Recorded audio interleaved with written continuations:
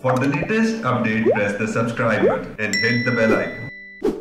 अस्सलाम वालेकुम मेरा नाम डॉक्टर सुमेरा रशीद है और अल्हम्दुलिल्लाह I am a qualified dermatologist I did my MBBS from Quaid Azam medical college Bahawalpur and then I got affiliated with King Edmund medical university Lahore यहाँ से मैंने अपनी ट्रेनिंग कंप्लीट की and I was graduated a post graduate degree of F C P S by college of physician and surgeons Pakistan so Alhamdulillah, I am working as an associate professor of dermatology at Fatma Memorial Hospital and Medical College, Shadman, Lahore.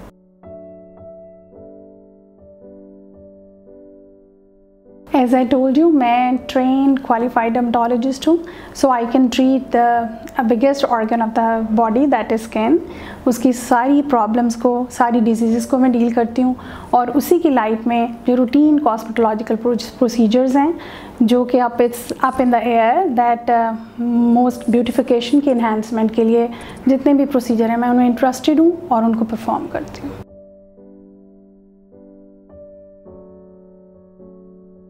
जो routine practice है, जिसमें बहुत से patient देखते हैं OPD के अंदर, अपने प्राइवेट क्लिनिक के अंदर, उसमें बहुत नंबर जो पेशेंट्स का है, वो एक्नी और मलाजमा है। Unluckily over past some years melasma की भी बहुत ज़्यादा नंबर ऑफ़ पेशेंट हो गए हैं। इससे पहले एक्नी होती थी, जो कि प्यूबर्टी ऑनसेट में यूजुअली हो जाती है। लेकिन अब तो एक्नी की भी इतनी कॉजेज़ हैं, आइट्रोजेनिक जिनको हम कहते हैं, जो कि हमारे ये मुख्तु किस्म की जो टॉपिकल मेडिकेशंस हैं, जिनको क्रीम्स कहा जाता है beautifying glorifying and brightening creams का यूज़ है। इन सब की वजह से ये इतना ज़्यादा प्रोड्यूस हो गया both acne as well as melasma और मेट्रो ऑफ़ एजुकेशन लोगों को देने का ये भी है मैसेज कि ये एक ऐसी प्रॉब्लम है, ऐसी दवाइयाँ हैं, मैं इनको कहूँगी। These are not creams and these are not you know body friendly कि ये एक ऐसा कुछ है कि जिसको रिवर्ट करने के लिए जब प्रॉब्लम हो जाता है, उसकी रिवर्शन के लिए हम इतना कुछ करने को तैयार हो जाते हैं, लेकिन एट टाइम्स ये पॉसिबल नहीं होता कि हम वैसे हों जैसे हमने बिगन किया था। इसलिए बहुत ज़्यादा इस चीज़ के पेशेंट डील भी करते हैं हम और उनको हेल्प आउट करने की कोशिश करते हैं। जिसको हम उर्दू में छाइयाँ कहते हैं ये प्रॉब्लम भी बहुत कॉमन हो गया है। इसकी रीज़न्स बहुत सी हो सकती हैं।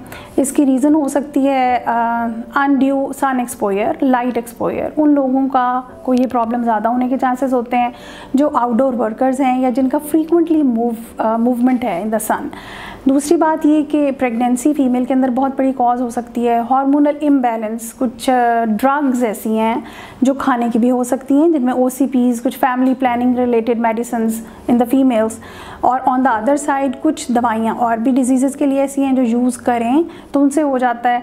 लेकिन on the top of that सबसे बढ़कर तो हमारी सोसाइटी में इस वक्त जो ब्राइटनिंग और लाइटनिंग क्रीम्स हैं, उनका इस्तेमाल मलाजमा को कॉज भी कर रहा है और एक्सेंचुएट भी कर रहा है। और ट्रबल्स हम सिचुएशन दे रहा है कि उसकी ट्रीटमेंट भी मुश्किल हो रही है। तो इन सारी चीज़ों को मिनिमाइज़ किया जाना, इसका प्रॉपरली असेसमेंट होना कि ये क्यों है और इसको कैसे एलिमिनेट किया जाए?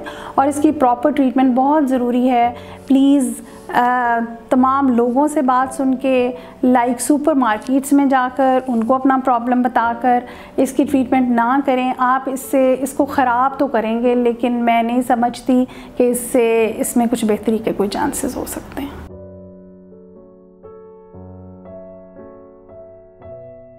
Eczema an other group and set of disorders है, जिसको हम बहुत सी जगहों पे डिवाइड करते हैं।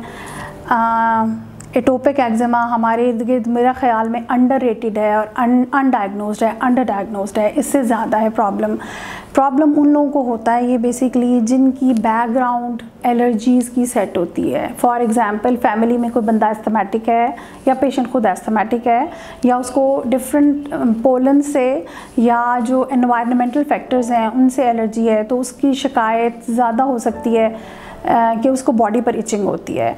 ये जनरलाइज इचिंग भी हो सकती है, किसी स्पेसिफिक एरिया पे भी हो सकती है। देखें, ऐसे पर्सनस की बॉडी सरफेस या स्किन बेसिकली ड्राई होती है। So remember this is a primary problem that they are carrying eczema उसके ऊपर आता है। एक्जिमा जब आएगा तो हमें डिफरेंट मोड से स्टीरॉइड्स होते हैं। देखें स्टीरॉइड भी एक वेहीकल है और एक ड्रग है। इसको ड्रग की तरह इस्तेमाल कीजिए। प्लीज़ इसको नाम सुन के इस्तेमाल ना कीजिए, क्योंकि इनकी डिफरेंट पोटेंशियल टेंडेंसी होती है। जैसे खाने की दवाई होती है, वैसे लगाने की भी दवाई होती है। इसको हमने प्रॉपर डाइल्यूशन के अंदर प्रॉपर मेथड ऑफ़ एप्लीकेशन से हमने इसको अप्लाई करना होता है। इसके अलावा भी एक्जिमस की बहुत सारी टाइप्स हैं।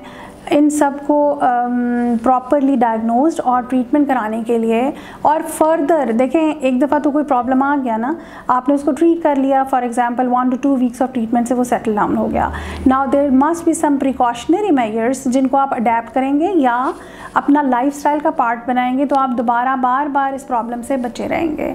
जिस तरह चेंज ऑफ़ वेदर के अंदर गर्मियों से सर्दियाँ आएँ या दूसरा एक्सट्रीम ऑफ़ वेदर आए तो ऐसे लोग बहुत ट्रबल सम सिचुएशन में चले जाते हैं, एकदम से स्किन रेड हो जाती है।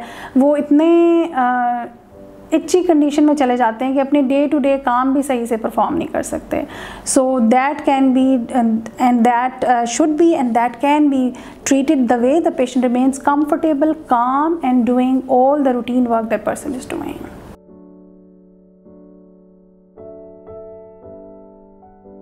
can talk about another very common problem, getting common rather day by day, वो ये है कि हमारी डाइट्री हैबिट्स में चेंज की वजह से लाइफस्टाइल में चेंज की वजह से एनवायरनमेंट में चेंज की वजह से बहुत सारे फैक्टर्स हैं इसके।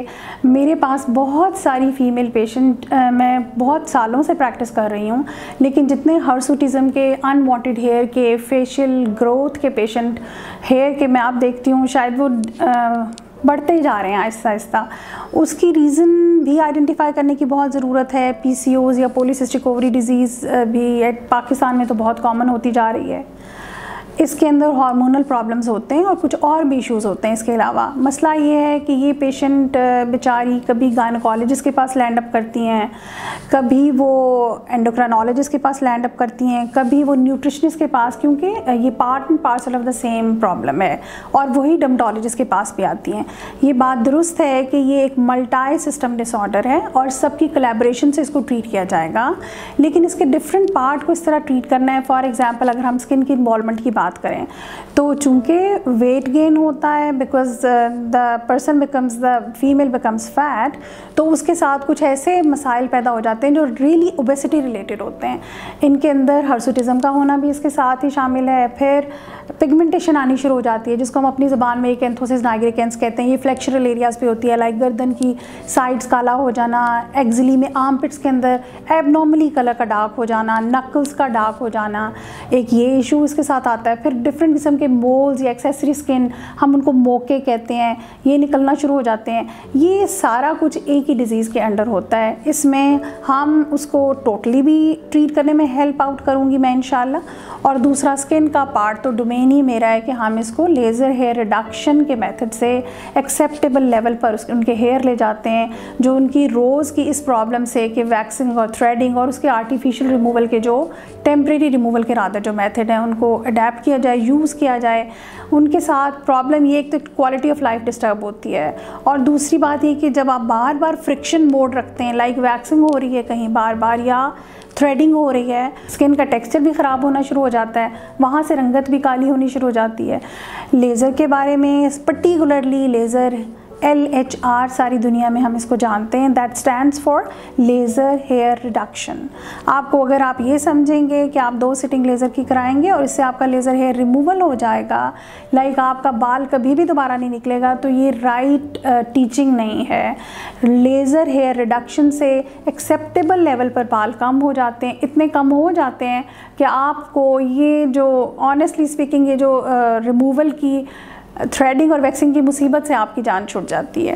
ये इन पेशेंट को ज़रूर किसी क्वालिफाइड डर्माटोलॉजिस्ट के पास जाकर अपना इस प्रॉब्लम को डिस्कस करना चाहिए और इसका ट्रीटमेंट सीक आउट करना चाहिए। इंस्टेड के वो शर्म के मारे अपने आप को इसलिए फेस को या इस पर्पज़ के लिए टिपिकल एरियाज़ को कवर करके रखें क्योंकि वो पिगमेंटेड हो गए हैं, क्योंकि वहाँ पर स्किन हार्डन आउट हो गई है because of the repeated previous procedures तो अगर आप इसका सही से इलाज कराएँगे तो इन ताला आप कंफर्टेबल रहेंगे।